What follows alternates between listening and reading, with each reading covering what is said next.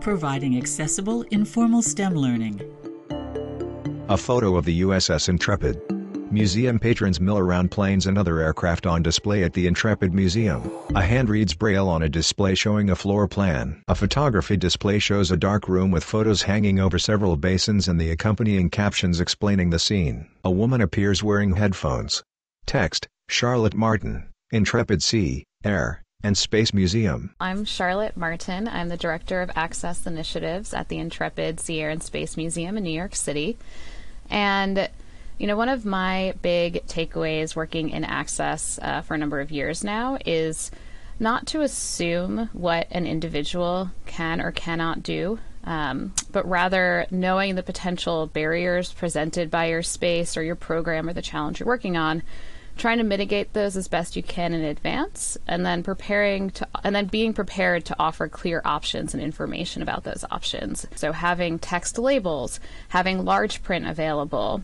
Um, so having large print labels that people can borrow, also having that content available online through an accessible web page that you can access through a QR code by building those resources into the exhibition, you can still have that shared experience with the people that you came with, even if you have, um, even if some are disabled or not disabled, or have different preferences for how they get that information. A display with text and a map showing General Winfield Scott's Great Snake Plan. A mannequin woman in period dress reading a book. A display showing a man in a fishing boat with text captions and pictures. The outside of the North Carolina Maritime Museum at Southport. A woman appears in an office. Text, Katie Meny North Carolina Maritime Museum at Southport. Hi, my name is Katie Meny. I'm the Curator of Education at the North Carolina Maritime Museum at Southport. We strive every day, all day, through all platforms and on site to make sure that we are accessible for all people, all ages, all abilities. So if it's reading the exhibits and going through at your own pace, if it's scanning a QR code for a semi guided audio tour, including American Sign Language, or if it's utilizing our Braille maps to go throughout the building.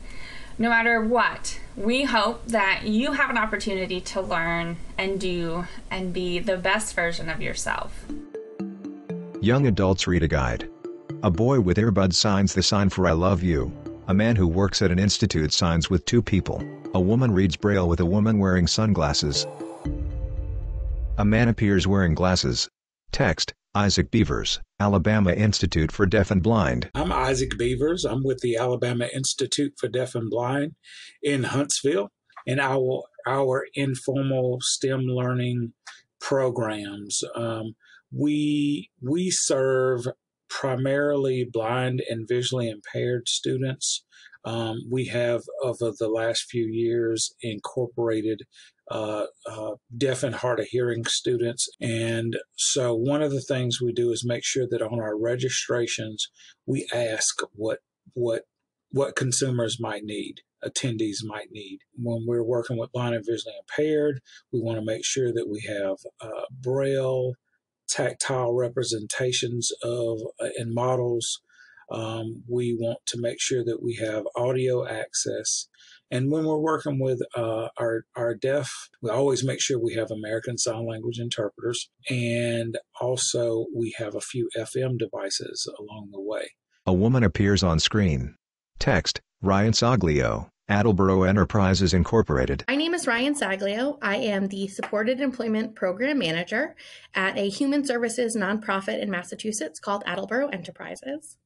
I work exclusively with individuals with disabilities and mental illness who are looking to find employment opportunities out in their community but I have also in the past done accessibility and inclusion work for some of the local museums here in New England. I think that good accessibility work is basic accessibility work, things like having bathrooms that are accessible, benches that are accessible, um, wide walking paths. A story that I often tell of um, accessibility gone wrong is I recently visited a museum that I was very excited to see. I've been waiting two years to get there. I do have my own physical um, disabilities and physical limitations. So I don't use mobility aids, but I do need to sit down quite often. And we were in the museum and we were walking around. And after a couple minutes, I really needed to sit. And because of COVID, they had removed all of the benches. Um, so as we're kind of walking through the museum, I'm looking for somewhere to sit down so I can kind of take a moment, and we're not finding one. And the further we get into the museum, the less I'm looking at the museum, and the more I'm just looking for a bench. Um, and by the time we finally found one, there was a line of people who were looking to sit down. So we actually just left. Text Tani Holsworth, Microsoft. Hi, I'm Tani Holsworth. I'm uh, the content designer for inclusive classroom tools at Microsoft. Um, and previously, I was managing the volunteer inclusion program at Woodland Park Zoo. And some of the things that were the most successful with us when we first got started. Um, we're revamping the accessibility guidelines on our website. Uh, we found that a lot of people with disabilities um, didn't perceive the zoo to be accessible for them to even visit. And so it never occurred to them to volunteer at the zoo. Uh, so by uh, updating the website and making sure that um, there was a way to request accommodations or see what accommodations are available, uh, we were able to get a lot more folks uh, interested in volunteering. The other thing that was really important was uh, training staff and volunteers, um, existing volunteers without disabilities, uh, to presume competence of the incoming volunteers.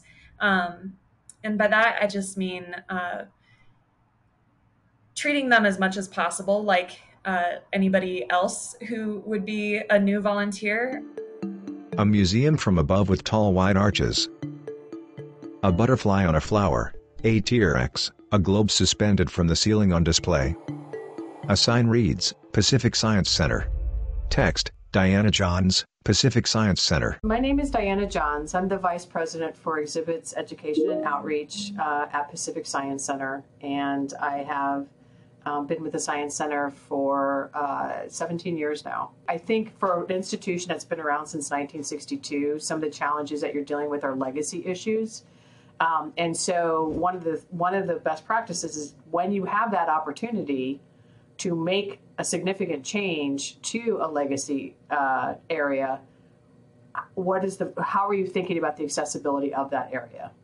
We recently put in a new experience um, that we'd had before, and uh, the vendor had asked if we could put it back in the same place, and we said no because that was not accessible to everyone. Text Charlotte Martin, Intrepid Sea, Air, and Space Museum. But the thing I would really encourage from the very beginning is engaging directly with disabled self advocates um, and engage with them at all levels of your planning um, from the very beginning at that brainstorming to identify what the priorities should be or what the challenges are, what the opportunities are. It's the expression not let not don't let the don't let the perfect be the enemy of the good, right? We need to start somewhere, but as long as it's iterative and we're learning along the way, um, that's really what's going to make the big difference. Next. Katie Many North Carolina Maritime Museum at Southport. When designing programs and exhibits, we try to look at the whole person. So if you are sitting in a wheelchair, if you're sitting on the floor, if you're walking around needing constant movement, how can you still learn and interact with our maritime topics?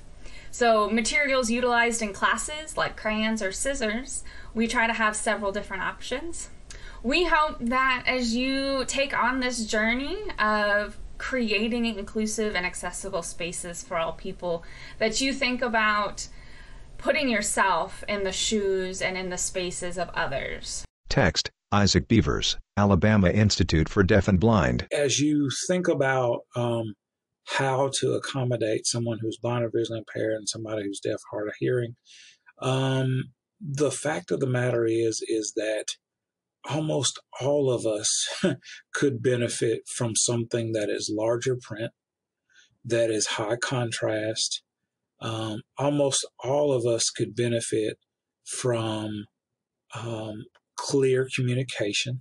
Text Ryan Saglio, Attleboro Enterprises Incorporated. When you make one small change with one community need in mind, it often has ramifications and can impact more than just one. Um, so when you make a space wheelchair accessible, you make it easier for a mom with a stroller to also navigate that space. When you create a gender neutral bathroom, you create a place for dads to bring their kids or caregivers who might be out in the community and need a space that is um, neither a men's room or a women's room. Um, or when you create a picture menu for somebody that doesn't read, you also allow someone who might have extreme anxiety or might be an English language learner to also um, occupy that space and have um, the typical experience. Text Diana Johns, Pacific Science Center. When you do design something, um, that you make sure you are testing that with a wide variety of potential users.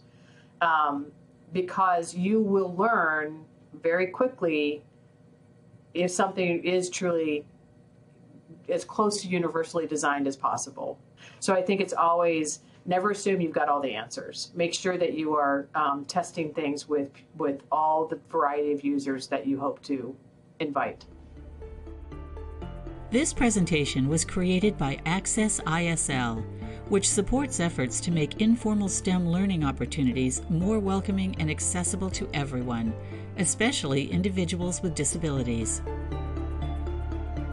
For more information, visit the Access ISL website uw.edu slash doit slash programs slash accessisl. Access ISL is supported by National Science Foundation grant number DRL 1906147. Any questions, findings, and conclusions or recommendations expressed in this material are those of the speakers and do not necessarily reflect the views of the federal government. Copyright 2022, University of Washington. Permission is granted to copy these materials for educational, non commercial purposes, provided the source is acknowledged.